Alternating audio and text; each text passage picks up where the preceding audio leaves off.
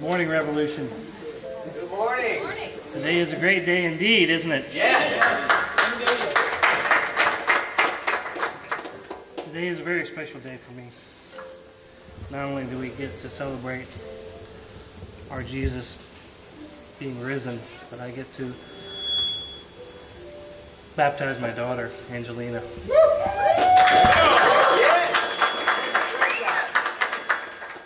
I'm lost for words.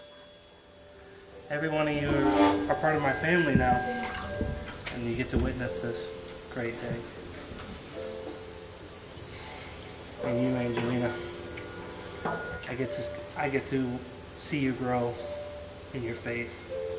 Never pressuring you to do this, waiting for your own good time to decide that today is the day, and I'm very proud of you for that.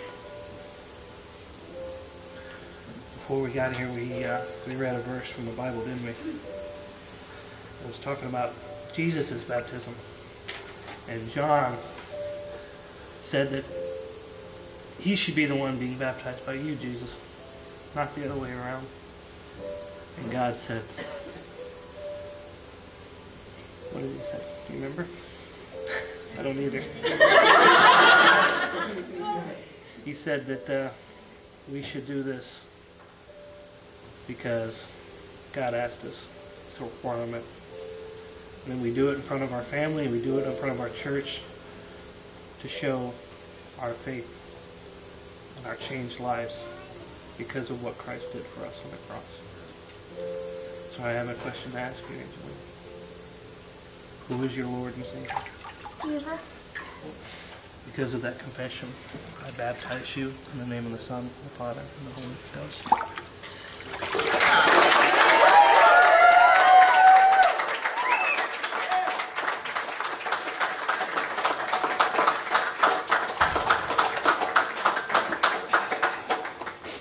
Praise God. Praise God.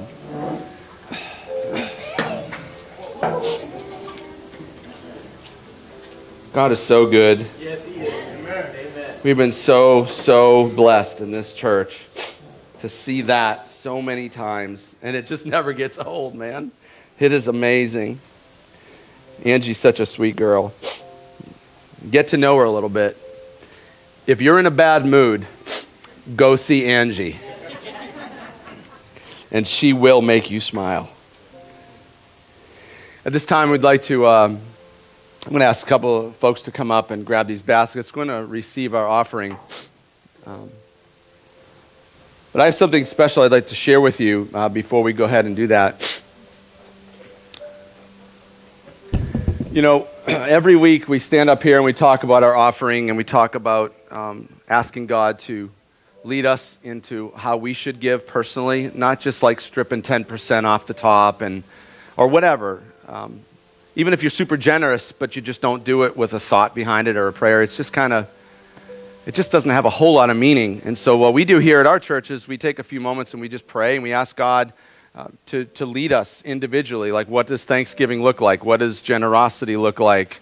What does partnering with Jesus look like in my giving personally? And we, we, we go quiet. And we'll do that in a minute. but before we, before we do that, I'd, I'd like to. Um, just add a little something to that. On top of, of the normal um, adventure, I'll just say, of, of ministry, of, of, of this church reaching out to the community, um, you know, right here locally. Um, we started on Facebook last week, and there were like 400 and some odd people that watched our service that weren't even here. So, like, the gospel was getting out. And, and we preached last week about just the cross of Jesus Christ.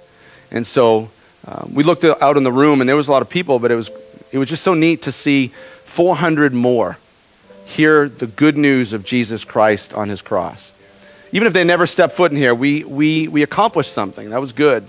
So we're excited about that. But on top of all the normal uh, expenses of a church and, and on top of this, this onward, forward movement of the church to reach people, there's, there's something else. Uh, a couple weeks ago, I shared with our church um, I took a break from the Gospel of Luke and I shared a little something in Acts chapter 2 and in Acts chapter 4.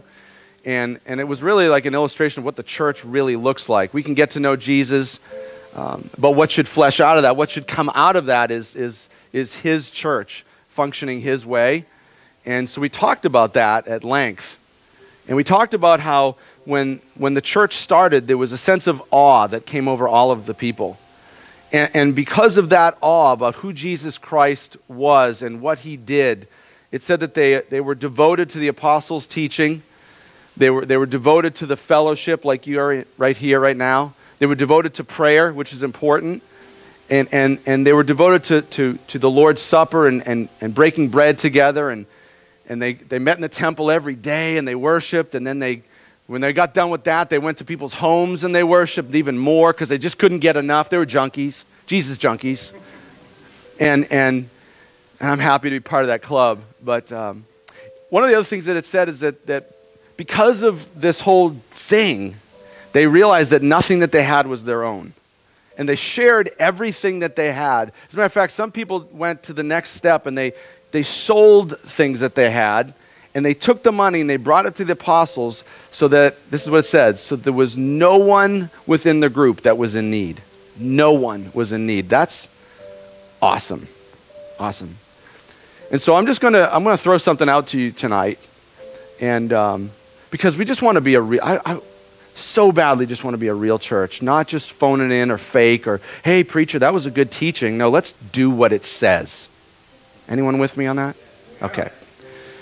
So, as many of you probably know, I know some new faces here, so you may not know her, but Miss Holly back here. Can you just stick, put your hand up real quick? You know Miss Holly. Most of you know Miss Holly. She's been a part of our church family now for a, a good, good time.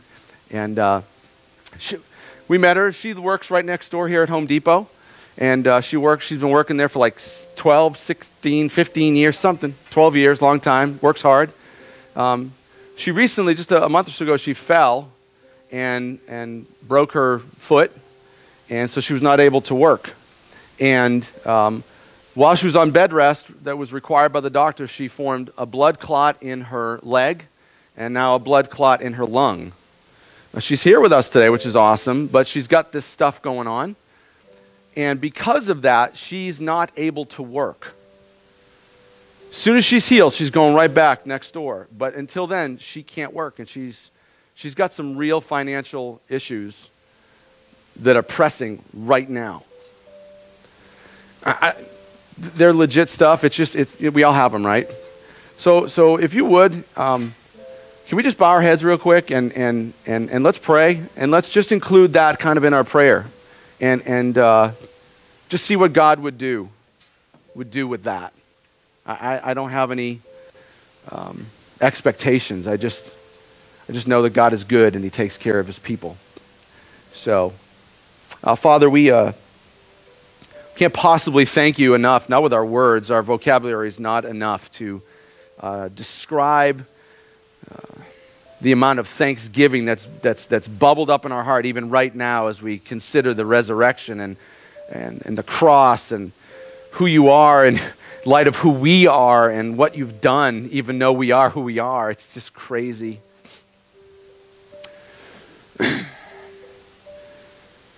so, so, all that to say this, Lord, what, what, what does Thanksgiving look like? What does uh, generosity personally, like what does it look like for each and every one of us? And, and what does it look like to partner with you, to, to advance the gospel to the ends of the earth, and, and to show love to those that are within our family, like Miss Holly? what would that look like for me personally, for Moses? What would that look like? And so, Lord, we're just going to get quiet before you and let your Holy Spirit do his thing. We would ask that you just speak to us now personally before the baskets go around, before anyone puts anything in those boxes on the back wall there. whatever it is, Lord, we just want to hear from you and desperately want to be obedient to what you say. So we're going to get still before you now, Lord, and we ask that you'd speak to us personally.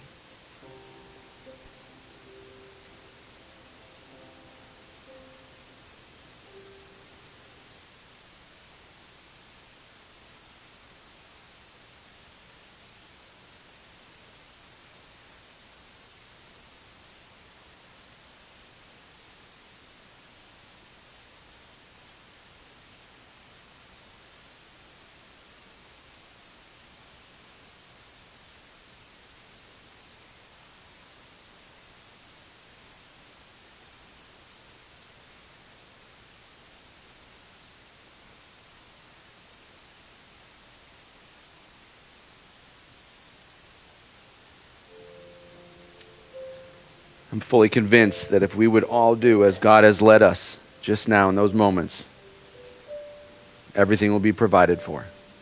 So I ask you to give according.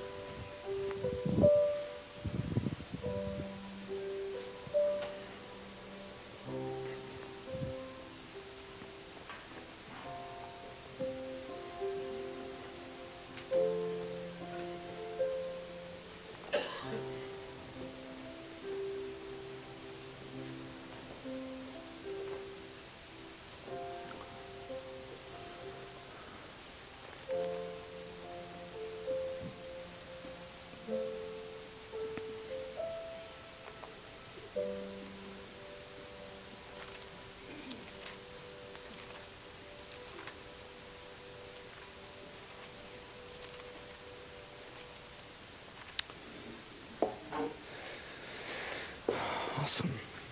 Anyone else excited about getting into God's Word this morning? I'm excited about it. This is like the crescendo of the week. It's good to see all of God's people in God's house on God's day. You made a good choice to be here. I'm so happy that you're here. Well, there's no secret um, that we're here for a specific reason. Anyone ever heard of the resurrection, right? That's why we're here. I just want to let you guys know, for, you know, let me just start this off. For those of you who've never been here before, there'll be more music. Just chill, okay? the name of our church is Revolution. It's a sudden and momentous shift in the status quo. So just kind of shake it up a little bit. We're going to give you a chance to hear God's word, let it do something to you, and then you can respond in worship. Is that cool? Yeah. All right, so, so let's get back to God's word here. Uh, go ahead and grab a copy of God's word. Don't, don't just listen to me. Grab a copy of God's Word. They're all over the place. Go ahead and steal one if you want. Uh, they're everywhere. And, and there might even be some, some references up on the screen for you to turn to. Um, no one's going to spoon feed you here at Revolution. We want you in the scriptures. We want you in God's Word so you could find some answers for yourself. And so go ahead and grab one of those. They're all over the church. And if you don't own a Bible, just go ahead and steal it. If you want to use one of those Bibles on your, uh, on your phone or tablet or whatever, you can go ahead and do that as well. Those are, those are cool. So we're here to celebrate the resurrection this morning. The resurrection, of course, is one of the most famous events in all of human history. You know, it's incredible. Just, I don't know if you thought about this morning, but we've, we've had two, over 2,000 of these. Over 2,000 of these, and still Jesus is filling houses. It's amazing the pull that Jesus has. It's an incredible event. So let me ask you this. So other than, than, than resurrecting from the dead being like totally cool that he did this, right? Why, why, why, why do we celebrate this? thing? You know, and by the way, listen, not only did he, did he raise himself from the dead, but do you know that Jesus, he raised other people from the dead? Do you know that, right? So, like the guy Lazarus, right? He, this dude's dead, and Jesus comes along, and he's, you know, Jesus, he's got some power, and so he kind of like takes some of his power and he, and he throws it over there at Lazarus, if you will, right? And, and Lazarus r- raises from the dead. That was kind of cool. When, when, when Andy there comes over to my house, um, he and my kids, they, they have this, this game they play, and, and Andy's got like freeze power, you know, and, or fire power. And my little kids are going, fire power, and they're going back and forth and stuff. So they're taking their power and they're kind of throwing it on someone else. And so, kind of, Jesus did that with Lazarus, which is kind of cool. He's got some power and he throws it over to the dead guy. So now the dead guy rises from the grave. That's cool. But Jesus, he is a dead guy. So we're, you know I mean? Like he raised himself. That's kind of cool. He raises himself from the dead. So where's that power coming from when he's dead? Awesome, right? So that was kind of cool. But you know what makes it even cooler? Any basketball fans in here? Who's a basketball fan? Who's the biggest smack talker that there ever was in the, bas- in, in the NBA? Michael's the biggest smack talker. you know, smack talkers are, are obnoxious, right? Unless they can back it up. Uh, when, they, when, they, when they say, I'm going to throw a three down in your face, It's like, eh. but then when they do it, it's like, dude, right? Right? And Jesus, what makes Jesus' resurrection awesome is that he called it. In the Gospel of Luke, he sa- it says it I will be killed, but on the third day I will rise. And he does. Eight ball corner pocket. Boom. Game over. That's, that's awesome, smack. And he can do that. That was amazing. But why rise? Why rise? What's the reason that he rose? See, when it comes to the cross, we talked about it last week, we know why the cross. You know, on the cross, he says it is finished. And on the cross, forgiveness of sin is made available to you. And on the cross, he makes it, uh, uh, gives you an opportunity to become a, a, a son or a daughter of God, to be reconciled back to God, to be put into the family of God. It's on the cross where Jesus accepts the full wrath of, of God the Father's anger for the sin that you and I committed. Put your hand on someone's shoulder. Put your hand on someone's shoulder, look at them and go, That's awesome. That's awesome. Listen, the Lamb of God, the second person of the Trinity, Jesus Christ the Lord, who takes away the sin of the world, is on his cross. Listen up. He's on your cross. That's good news. That's really good news. And that's why we're here to celebrate this. And even though the, the day of the cross itself has gone, it was Friday. It's in our past now. But the news of the cross, it still lingers, right? It still lingers. And it should remain the focal point of every, every brother and sister in Christ for all eternity. And we should never get tired of hearing this good news of the cross. Do you know that Paul, the, the greatest preacher who ever lived, when he went to Corinth, you can read in the scriptures, it says that of all the things that Paul knew, of all the things that he could teach, he said to those people, When I came to you, I decided to know nothing else except Jesus Christ and Him crucified. He could have taught anything. He could have been thinking about anything. He could have been sharing anything. But what did he talk about today? He talked about the cross. Oh, what about next week? Next Sunday, what are we going to do that week, guys? Oh, let's talk about Jesus on the cross. What about next week on, on Sunday? What are we going to talk about that week? Oh, how about this? Let's talk about Jesus Christ and Him crucified. Let's talk about the gospel. Let's talk about the cross. Every single week. That's all He ever did. We should never get tired of hearing it. I got accused one time at this church. Every time I go, I hear the gospel. Praise the Lord. Awesome. We should never get tired of that. Never. Do you guys ever see The Lion King? Who's seen The Lion King? Remember when the, the hyenas, those stupid, people, those stupid hyenas, they're sitting there, and one of them looks at him and goes, Mufasa, right? What, what does the other one do? No, no, no, wait, hold on. What do they do? Ooh. I'm going to say, say it again. Ooh. Say it again. Ooh, Mufasa, Mufasa, Mufasa. Ooh, ooh, every single time. It gives them shivers, he said. That should be us every time we hear the gospel. We should get excited about it. It's the greatest news that's ever happened to the, to the human race. We should never, ever get tired of hearing it. That's the good news. It's the good news. But what about the resurrection? So we get fired up about the cross. I get fired up about the cross. But what about the resurrection? Why did Jesus rise? Why, why do we celebrate this thing? I, I don't know about you, but I need a definitive answer. Don't go asking your grandma why. Don't Google it. Guess where your preacher went to go find the definitive answer of why the rise? God's Word. That's what we do here. You're new here, this is where we find our answers. Right here in God's Word. And that, guess what? God's Word didn't let me down again. I found it. It's right there, clear, black and white. I'm going to show you what it is. Turn your Bibles to Ephesians chapter 4. It's right there, man. It's clear. Why? Why did Jesus rise? Ephesians chapter 4, verse 4. Ephesians. I'm sorry. I'm sorry.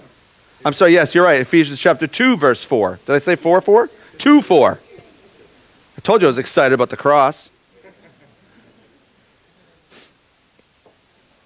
You there?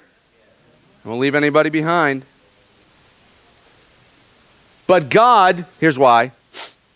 But God is so rich in mercy, and He loved us so much. That's a good place for an amen. Go ahead.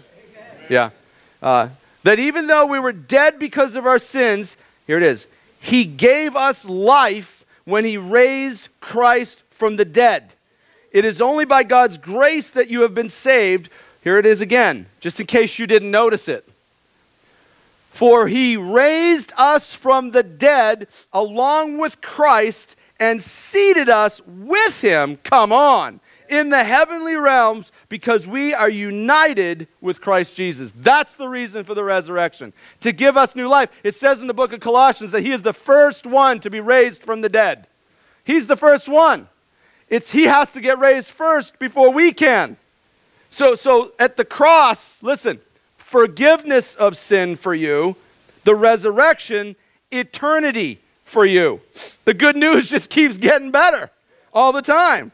If it was just the cross, if it was just the cross and the cross alone, for the forgiveness of your sin, just in this lifetime, so that you could live at peace with God, wouldn't it have been enough? Absolutely. That would have been an incredible gift. But the scriptures say he is rich in mercy and loved us so much that good just wasn't good enough. So forgiveness wasn't enough. He just kind of throws in a little bonus of forgiven and at peace with God forever. That's the gift of the resurrection. And that's why the rise. That's why he rises from the grave. But let's talk a little bit more um, practical. Let's talk a little bit more about Jesus rather than about us and why he rose for us. That's awesome news, but let's talk about him. Uh, why is Jesus alive today? Uh, I mean, if the, if the cross was enough, then, then he didn't have to rise. I mean, it would have been good enough. And so, for what other reason did, did Jesus Christ rise from the grave? Well, Colossians 1.18 says that Christ is, that's the present tense, right? Christ is the head of the church, which is his body. Uh, Jesus rose from the grave to pastor his church. That's why he rose from the grave. On the cross, the scriptures say that he reconciled us to God and we became his church. But he lives to pastor his church. That's why he's alive. And that's what he's doing. I don't know what every one of you were doing this week, but I know what Jesus was doing this week. He was fulfilling what he promised in Matthew 16, 18, or 18, 16. Which one is it? 16, 18. He says, I'm going to I'm going to build my church, and the gates of hell will not prevail against it. So, what is he? He made a promise, and that's what he's been doing all week. What were you doing this week? Were you working? Did you work? Did you work? Did you work? Did you work? Jesus was working too. Jesus was working on his church. He was building his church. He was, he was growing his fame. He was, he was accepting glory. That's what he was doing. He was building the faith of the people. That's what Jesus Christ was doing all week long. And sometimes uh, churches do grow. Sometimes they, they build, they get bigger, more people, more influence, more resource, more everything. But it doesn't mean it's his church. You see, it doesn't necessarily mean it's his church. See, if Jesus is building a church, th- then it, it has to be done his way according to his word. See? It has to be done his way. Not, not my way, not your way, uh, Yahweh. That was a good one. see, when, when Jesus is building his, his church, you're going to see a lot of these right here. Hence the, the, the big old one. You, what in the world's the one up there for, right? It's kind of weird. There's going to be a lot of these when you see Jesus building his church. And, and so this morning, uh, we, we, we have this one up, and it starts, it's not just an Easter thing, as you've seen online and stuff. It's, it's going to be an ongoing thing. And we'll kind of pepper it in every once in a while. We'll talk about some of the ones. So this is just the beginning. We're launching off into some some new waters. But let me tell you what I'm talking about when it comes to one. Hi, Josh. Hello. What's up, buddy? Ephesians chapter 4. I got this one right this time. Ephesians 4, 4 through 6. It says that there's one spirit. You know, some churches say, well, Uh, we're, we're operating in all the gifts, and the Holy Spirit is a we're a spirit-led church, and, and you guys don't do what we do, so we got the Spirit. I don't know what kind of spirit you guys got over there, but we got it figured out over here. We got the Holy Spirit, and I don't know about your spirit. Well, you know, the thing is, is that that same spirit that, that, that, that, that heals people, the same spirit that, that gives someone the gift of speaking in tongue also is the same spirit that, that just says, hey, listen, no one can say that Jesus is Lord except by the Spirit. It's the same spirit that helps someone preach boldly the gospel when they're a coward. It's the same spirit that helps somebody to just go and help someone when it's against their nature to do so. It's the same Holy Spirit. There's only one Holy Spirit in the church of Jesus Christ. That's it. No one has the market cornered on the Holy Spirit, right? He's in his church. It also says that there's one Lord. Guess what his name is? That, oh, that's always the answer. No matter what I ask, just scream that out. It's Jesus Christ. There's only one God, it says. That's the Trinity God the Spirit, God the Son, God the Father. There's only one God existing in three beautiful persons Father, Son, and Holy Spirit. Listen, and because there's only one God, it says that there's only one glorious hope for the future.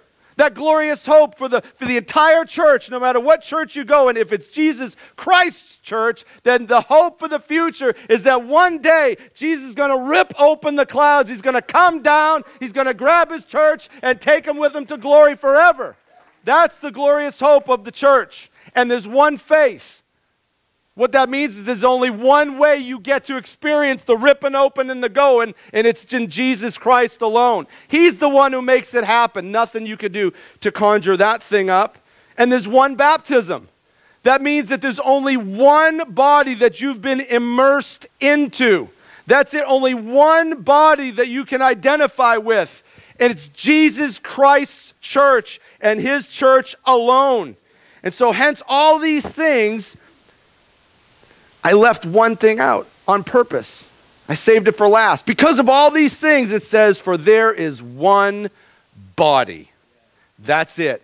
One body of Christ, one Lord, one Spirit, one God, one hope, one faith, one baptism, one body.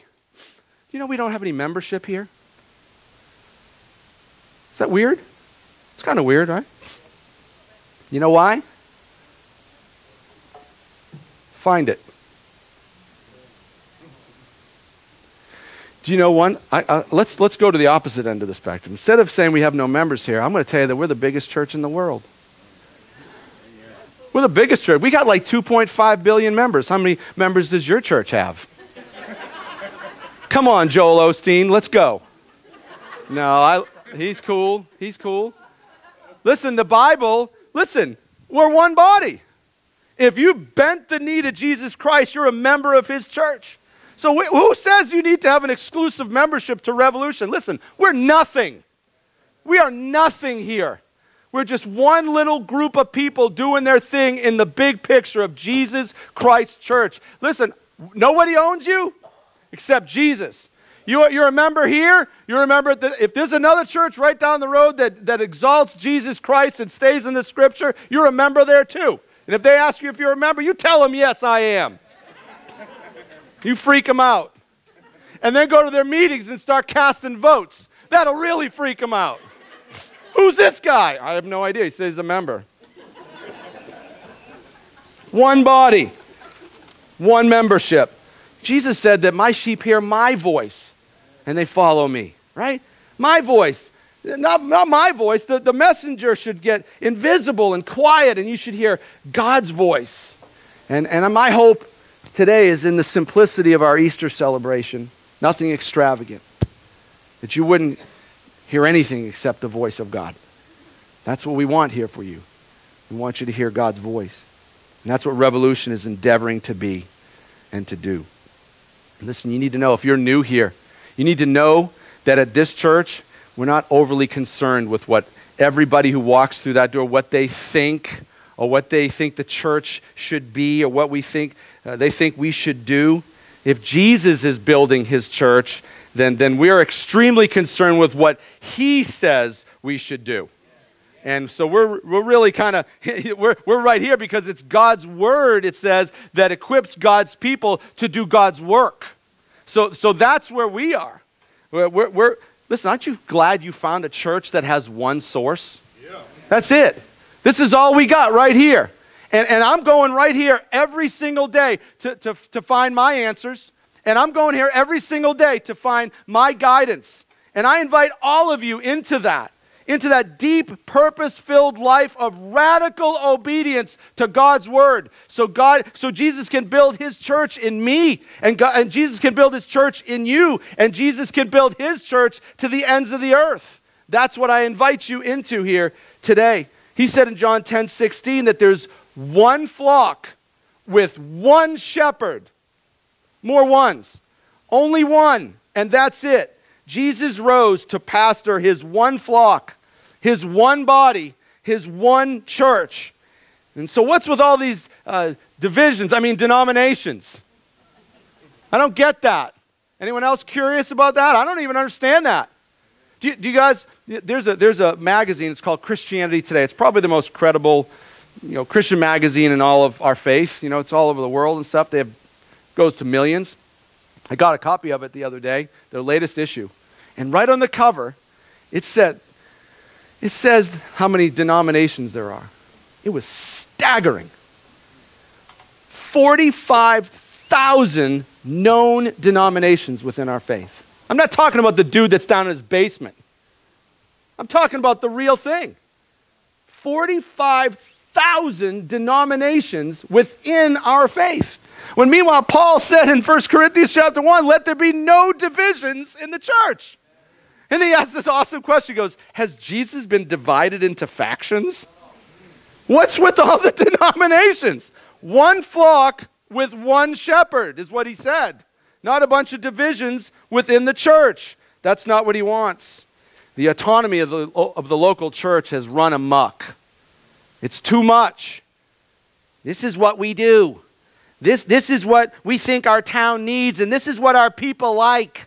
Listen, you can decide what time your service hours are, and you can decide the color of the walls, but quickly it better shift to what God says it should be in His Word about His church.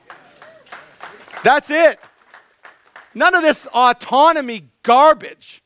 Who, who, who, do, you, who do we think we are? Auton- I have no autonomy. The day I give up my life is the day I live. I have no reason to decide what I should even do. When I wake up in the morning, what should I do? Decide what I'm going to do? No. Lord, what do you want me to do? No autonomy. You have nothing. You have no privilege. You've been purchased at a high price. You are no longer your own, the scripture says. So if you're no longer your own, how much autonomy should there be in the church? None.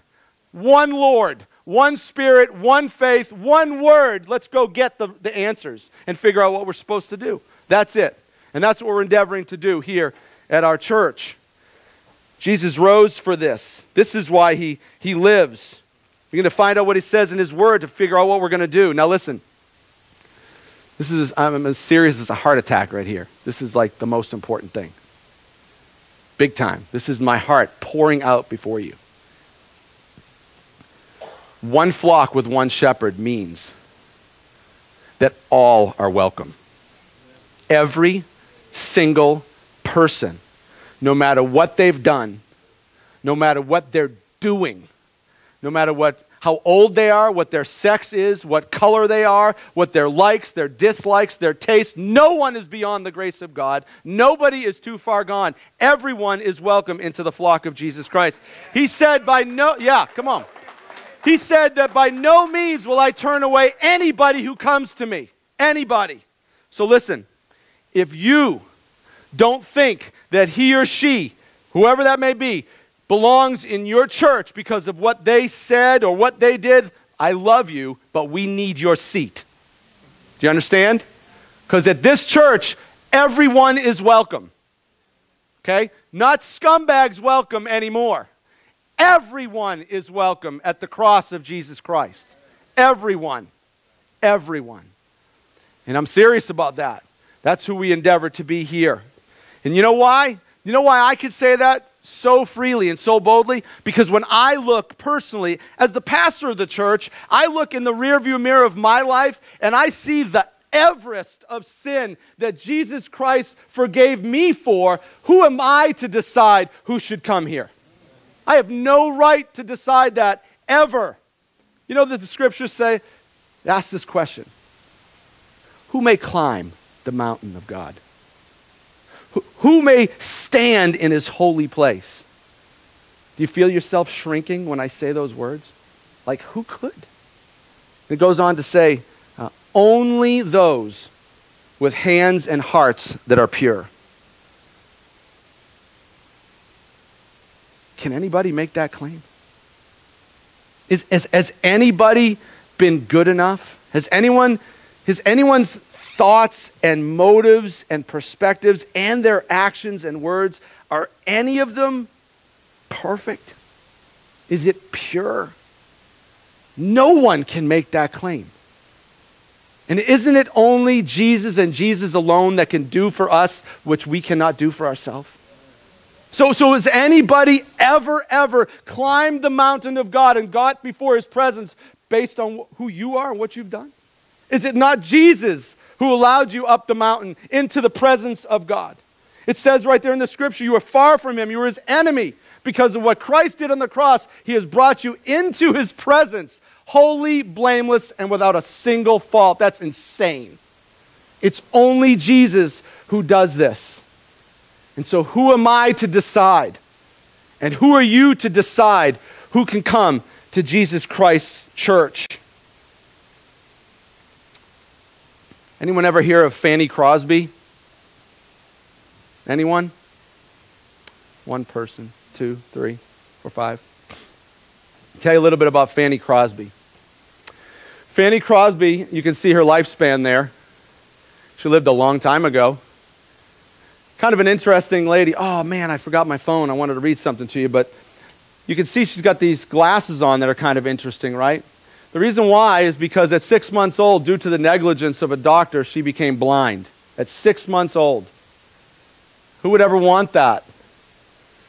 She was one of the most prolific hymn writers this world's ever seen. She's written over 8,000 hymns. She was quoted as saying that I guess it was I guess it was up to God to decide that I would be blind. And I thank him for that dis- dispensation. I thank him for making me blind. If I was offered perfect sight tomorrow, I would deny it, she said, because I might not sing such beautiful praise and glory to God. Because if I could see everything around me, I might be distracted. She welcomed and thanked God for her blindness. And she wrote a, she wrote a hymn that is your song. We're talking about everyone is welcome at the cross of Jesus Christ. Everyone is welcome into his church, correct? And she wrote these words. In 1882, she wrote this